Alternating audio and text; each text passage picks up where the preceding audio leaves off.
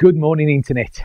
Right, it is Monday morning and it's the 14th of August. In fact, we're nearly out of Monday morning, uh, but never mind. Right, so this is just a little intro to a video uh, that I'm going to put on. So, yesterday, yesterday, uh, I went out for a ride. Um, the weather changed a bit in our favour and I went out for a ride. It's on there, have a look at it, you might enjoy it.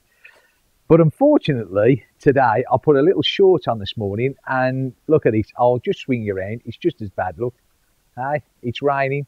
It hasn't stopped. Hey, it's absolutely awful. Okay, but anyway, getting back to what I was going to do. So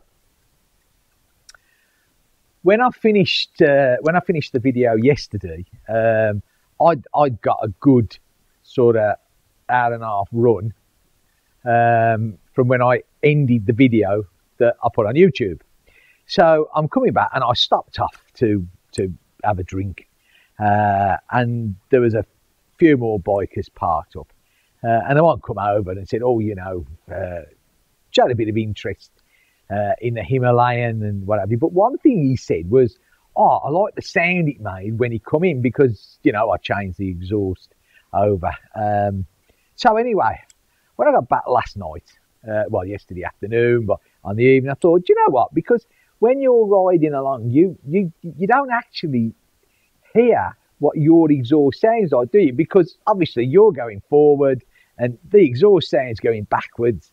So you know, you know. So I said, right, okay. So what I did was, I, I went to the down here. I went to the the actual road, uh, and I got the wife, God bless her, GoPro and the mic.